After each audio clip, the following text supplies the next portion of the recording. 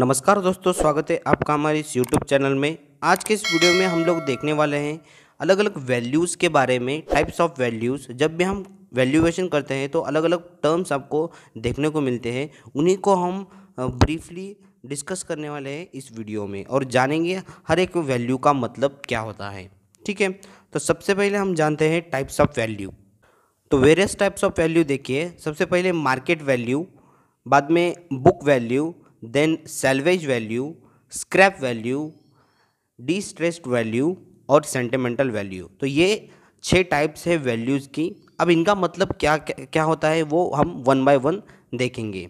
जैसे कि सबसे पहले है मार्केट वैल्यू किसी भी प्रॉपर्टी की open market current open market में जो पर्टिकुलर प्राइस होगी, वो होगी आपकी मार्केट वैल्यू ठीक है? और ये जो मार्केट वैल्यू है, ये टाइम टू टाइम डेफर करती रहेगी जैसे जैसे ही डिमांड और सप्लाई में चेंजेस होते जाएँगे।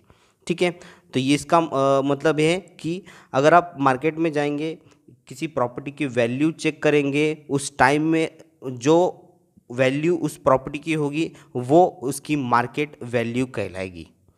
अब इसके बाद में और भी चीज़ें हम देखेंगे लेकिन इससे पहले एक और पॉइंट देख लीजिए कि मार्केट वैल्यू जो है वो उसमें चेंजेस आपको टाइम टू टाइम देखने को मिलेंगे। इसके रीजंस क्या होंगे? जैसे कि चेंजेस इन इंडस्ट्री हो सकता है कोई ट्रेंड चेंज हो गया फ़ैशन चेंज हो गया, या फिर मटेरियल की कॉस्ट और लेबर की कॉस्ट में अगर चेंजेस हो गए तो उस पर्टिकुलर प्रॉपर्टी की जो वैल्यू है, वो चेंज होती रहेगी। तो मार्केट वैल्यू भी टाइम टू टाइम चेंज हो जाएगी।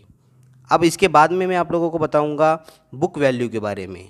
अब बुक वैल्यू का मतलब क्या होता है? ओरिजिनल कॉस्ट में से आपको अमाउंट ऑफ़ डिप्रिसिएशन माइनस करना है एट ए पर्टिकुलर ईयर अब पर्टिकुलर ईयर क्यों बोल रहा हूँ? देखो, हर ईयर बाय ईयर क्या होता है? एक डिप्रिसिएशन अमाउंट आपके ओरिजिनल कॉस्ट में से डिडक्ट करना होता है। मतलब जैसे आपके बिल्डिंग की एज बढ़ेगी, वैसे ही उसका लाइफ स्पैन कम होते जाएगा।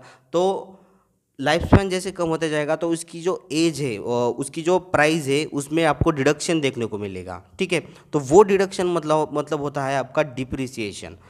अब उस अमाउंट ऑफ़ डिप्रिसिएशन को आपको आपके ओरिजिनल कॉस्ट में से डिडक्ट करना है, और डिडक्ट करने के बाद आपको जो अमाउंट मिलेगी, वो होगी आपकी बुक वैल्यू ठीक है, उसे हम बोलेंगे बुक वैल्यू और वो पर्टिकुलर ईयर में जो भी अमाउंट ऑफ़ डिप्रिसिएशन है, उसको आपको डिडक्ट करना है और डिडक्ट करने के बाद जो वैल्यू मिलेगी, उस पर्टिकुलर ईयर की बुक वैल्यू आपको वो कहलाएँगी। ठीक है, अब ये जो बुक वैल्यू है, ये टोटली डिपेंड करती है अमाउंट ऑफ़ डिप्रिसिएशन के ऊपर। और ये amount of depreciation gradually year by year इसमें आपको reduction year by year year आपको इसमें रिडक्शन करते जाना है।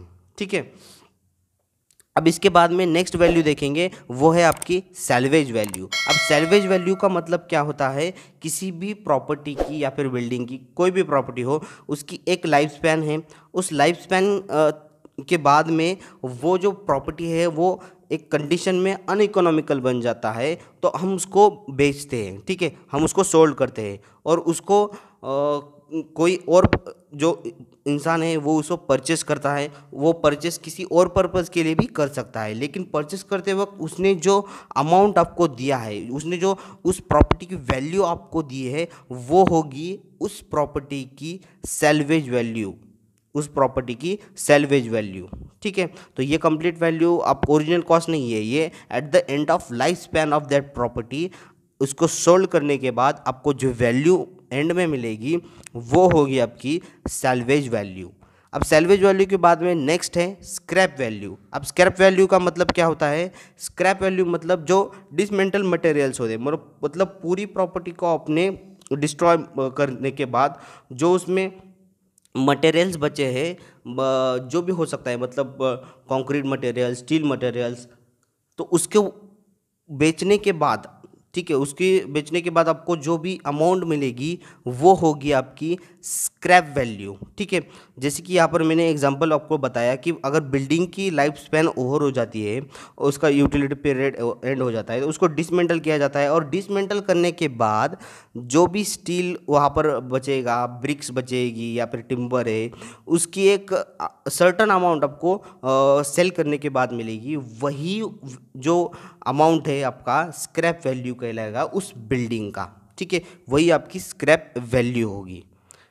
अब स्क्रैप वैल्यू के बाद हम नेक्स्ट देखेंगे डिस्ट्रेस्ड वैल्यू अब डिस्ट्रेस्ड वैल्यू क्या होता है? कोई भी एक प्रॉपर्टी है जिसे वो सोल्ड करना चाहता है। एक इंसान अपनी प्रॉपर्टी को सोल्ड करना चाहता है। लेकिन किसी कारण जो एक्चुअल प्राइस है उस प्रॉपर्टी की, उससे कम प्राइस में वो अपनी प्रॉपर्टी को सेल कर देता है। और वो जो सेलिंग प्राइस होती है, वो उसकी होती है उसे हम कहलाते हैं डिस्ट्रेस्ड वैल्यू ठीक है, वो जो वैल्यू उसने सोल्ड करने के बाद उसको मिली, वो होती है डिस्ट्रेस्ड वैल्यू अब ऐसा किन कंडीशन में होता है? तो जैसे कि अगर वॉर या फिर अर्थविक जोन है तो उसका जो फियर होता है कि अर्थक्विक की वजह से कुछ हो जाएगा तो उस वजह से वो क्या करता है कम से कम अमाउंट में अपनी प्रॉपर्टी जो है आ, कम अमाउंट में अपनी जो प्रॉपर्टी है उसको बेच कर चला जाता है। तो वो वैल्यू जो होगी वो होगी डिस्ट्रेस वैल्यू और भी रीजंस हो सकते हैं जैसे कि कोई फाइनेंशियल कंडीशन डिफ़िकल्टी है ओनर की जिसकी वजह से उसको उस प्रॉपर्टी को कम अमाउंट में बेचना पड़ा। तो उससे बोलते हैं डी स्ट्रेस्ड वैल्यू। ठीक है? अब इसके बाद में लास्ट वन हम देखेंगे सेंटिमेंटल वैल्यू। तो सेंटिमेंटल वैल्यू क्या होता है? तो किसी भी प्रॉपर्टी को एक्चुअल, जो उसकी सेलिंग प्राइस है, उस प्राइस से ज़्यादा अमाउंट में अगर सेल किया जाता है, ठीक है? मतलब अगर कोई इंसान इंटरेस्टेड है किसी प्रॉपर्टी को परचेस करने के लिए और उसका ओनर उस प्रॉपर्टी को due to the sentiments purchase नहीं करना चाहता। लेकिन जो बायर है, वो उसे एक्स्ट्रा अमाउंट क्या करेगा? ऑफ़र करेगा और उस अमाउंट को अगर वो एक्सेप्ट कर लेता है और उसे वो बेच देता है तो वो होगी आपकी सेंटिमेंटल वैल्यू ठीक है? वो होगी आपकी सेंटिमेंटल वैल्यू तो यही अलग अलग वैल्यूज़ की टर्म्स हम इस वीडियो में देखने वाले थे। अगर आपको इन सभी वैल्यूज़ में कोई डाउट है तो नीचे कमेंट सेक्शन में ज़रूर बताना। आज के वीडियो में बस इतना ही। मिलता हूँ नेक्स्ट वीडियो में।